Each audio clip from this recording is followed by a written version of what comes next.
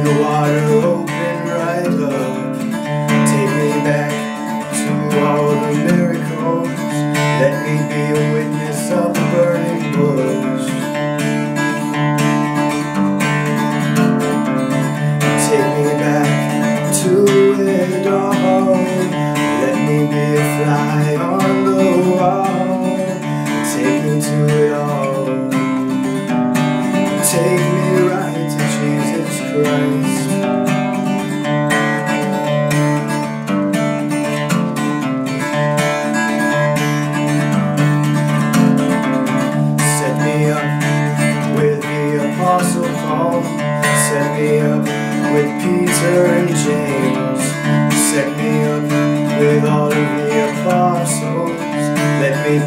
Just a little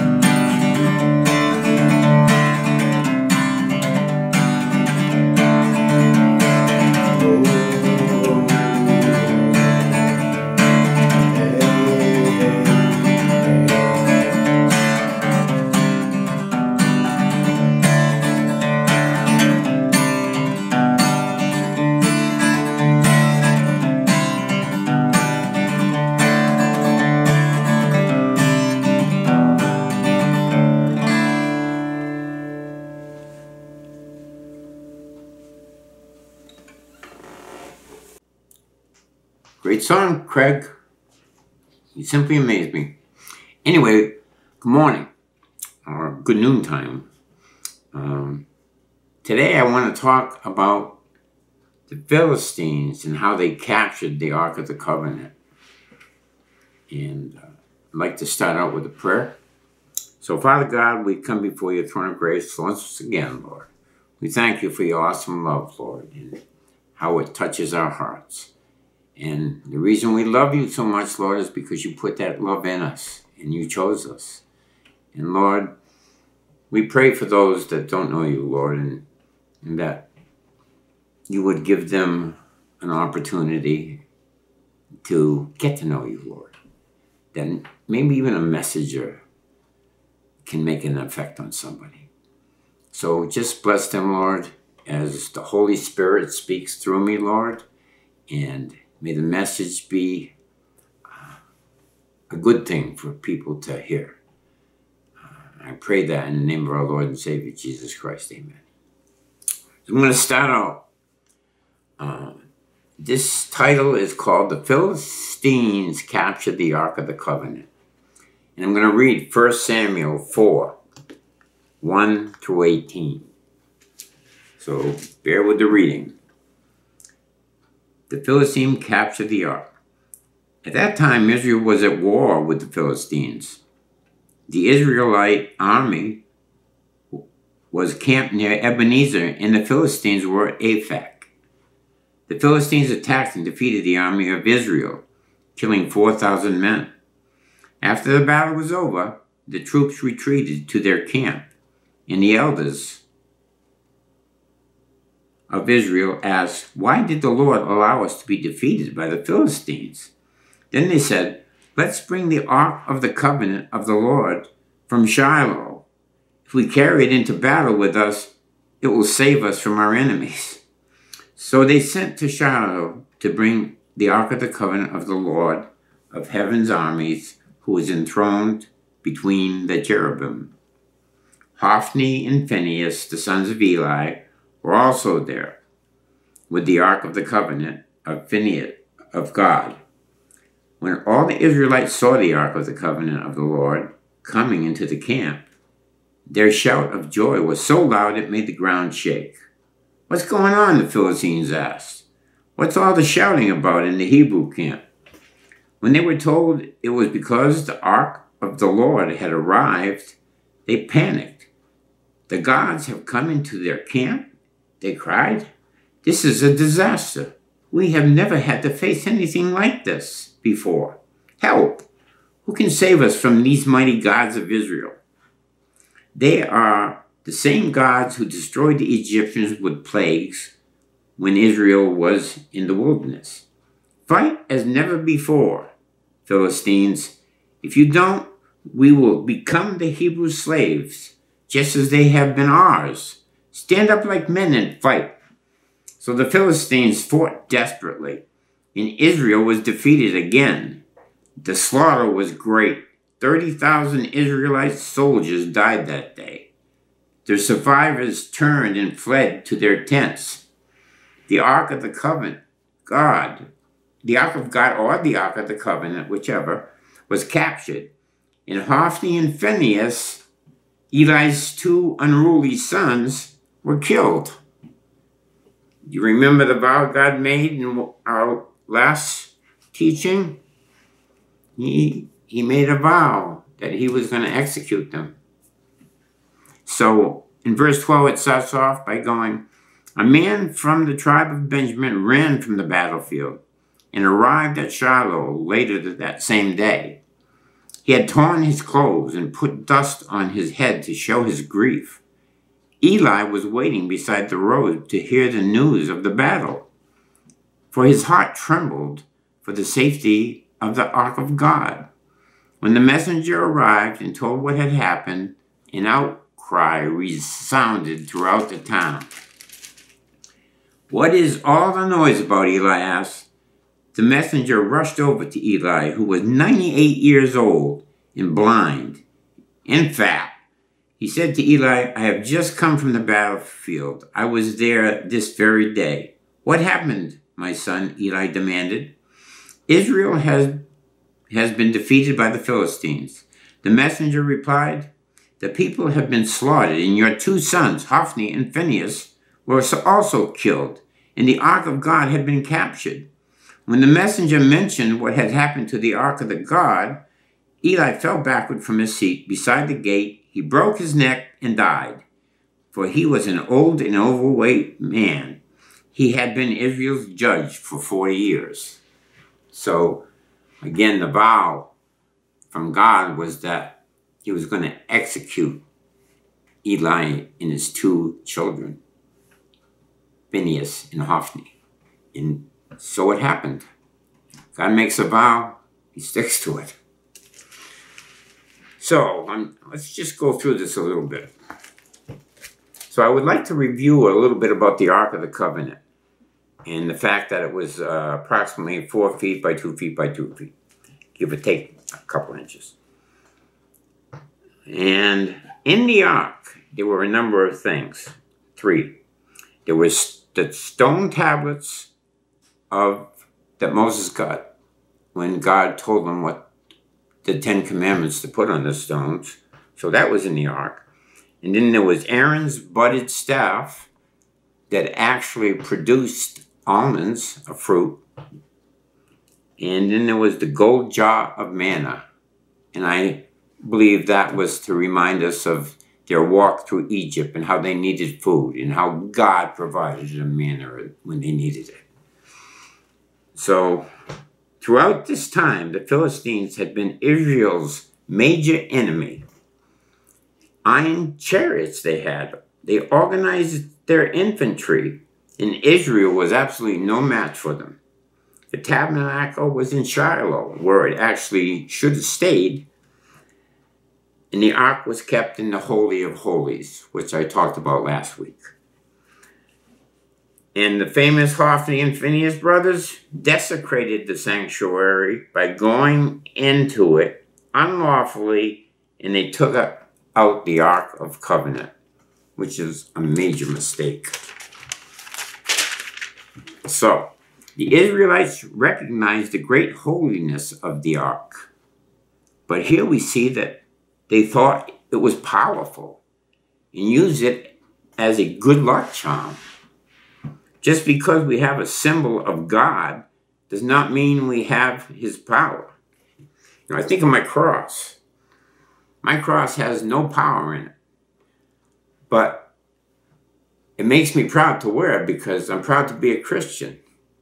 And also, a lot of people, not a lot, but you know, 10 or 12 people have asked me about the cross and it's given me an opportunity to share about the Lord with them.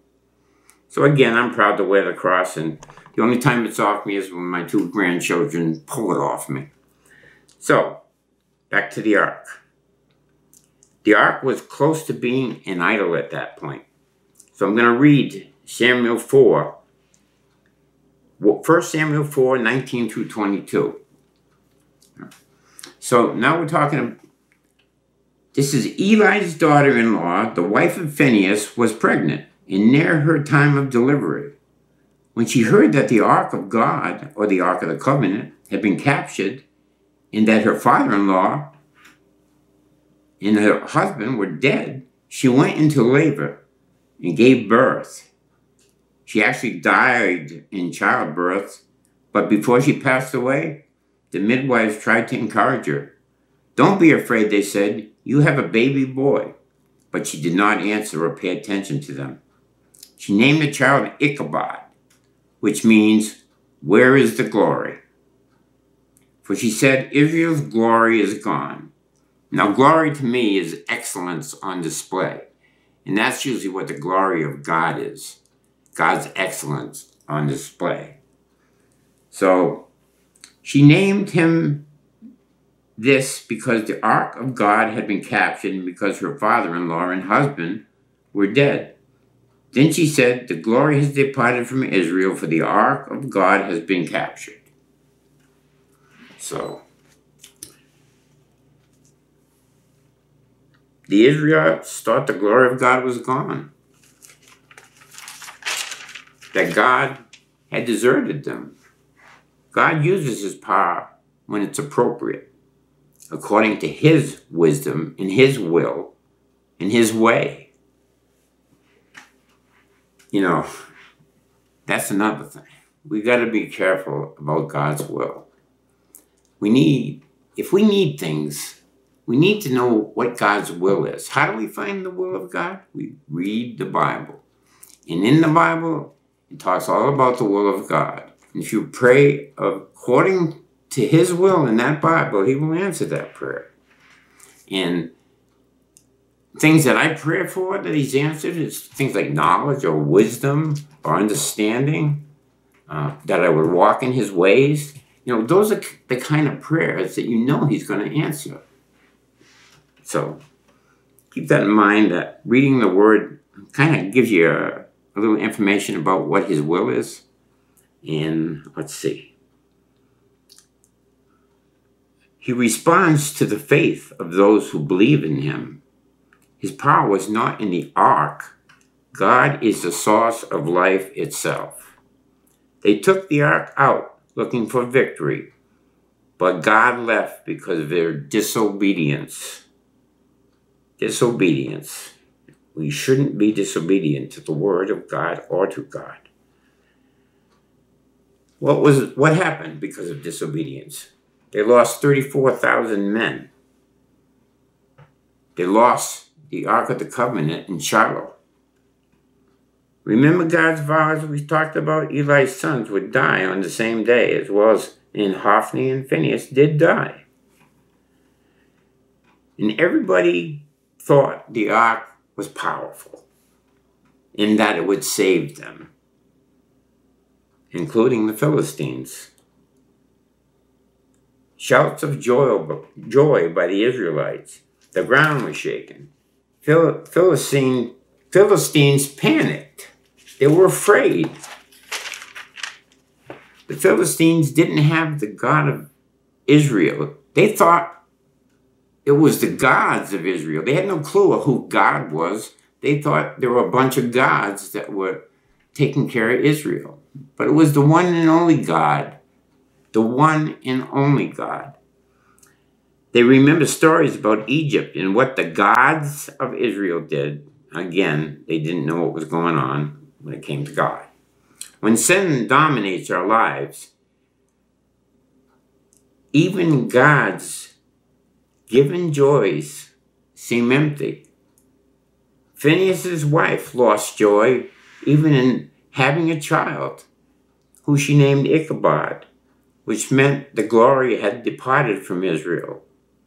The, Philistine, the Philistines, though, thought they were power, there was power in the ark, and they panicked. They fought as they had never fought before, and they killed 30,000 Israelites and captured the ark. Because of the Israelites' lack of obedience, the Philistines captured the ark and defeated them. They lost 34,000 men, as has been said before. Obedience to God is so important. We need to follow His ways. I know for myself, I actually did a, a 180 flip, my wife calls it. I, I went from a, a so-so Christian to a fanatical Christian. And that would be being a fan of God. I'm okay with that. I don't mind being a fanatical Christian. Since my faith and trust and hope and love is in God through Jesus, we can love God or we can reject Him. His word is total truth. And the truth will set you free, the Bible says.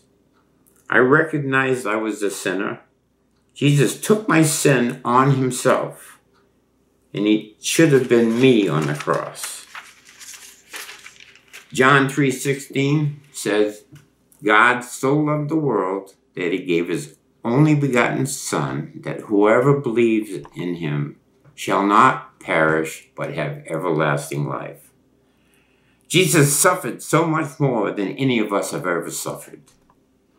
He was spit on, he was beaten, he was nailed to the cross, and he only said seven phrases in a matter of six hours of suffering. That's, that's absolutely amazing. He was a lamb led to slaughter, and he didn't make a peep. When I think of the love of God that I found in the Word, in our pastor's sermons, as well as the truth of the word. When I go through a difficult time, I can always rely on that truth and feel the joy of the Lord and the peace of the Lord, even through difficult times. I understand what Paul said when he said, I have learned to be content in all things. And that's where I'm at now. I'm learning I'm learning to be content in all the situations that I'm going through. And, and some are difficult. But again, I'm learning to be content and having joy and peace in the Lord. The bottom line is the truth will set you free and give you eternal life. The Bible is total truth. One day I will be in heaven. The reason I am part of this church for 20 years is that the pulpit, it always speaks the truth. As far as I've been there, I have heard nothing but the truth from our pastors. And That is why I'm still there today and will be there until I die. I praise God for our pastors, and we should all be praying for them because many times they're under a spiritual attack. So, well, I just want to read one more thing to you, and that's John 3 36. And anyone who believes in God's Son has eternal life. Anyone who doesn't obey the Son will never experience eternal life, but remains under God's angry judgment. And I wouldn't want that for anyone. I would not want to be under his judgment. So I pray that none of you will suffer the wrath of God. I pray that you will come to understand and know who He is. That you would take the Bible and read, even if you have to read a little bit at a time. And those that don't know the Lord at all, just pick up the Bible and get a clue. Read the read John 3 um, but this is, it's so important. The life we live on earth is terminal. It's not going to last a long time. But we all have an opportunity for eternal life, to be with God in heaven, feeling experience the joy and the fact that we will have every tear wiped away. There'll be no more suffering, no more pain, no more sicknesses. You know, we have a great opportunity, especially people that don't know the Lord. If you hear what I'm saying, take hold of what I'm saying and give Jesus a chance. At least give the Bible a chance, then maybe you'll know who Jesus is.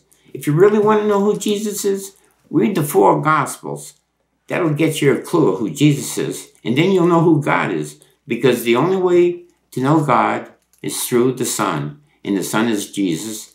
And the four Gospels talk all about Jesus, because he does the talking in those Gospels, and not many of the words.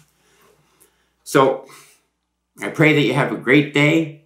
I pray that everything goes well for you. I pray that you come to know the Lord if you don't know him already. And Greg and I, we love you. And we'll see you next week, Lord willing. Have a great day.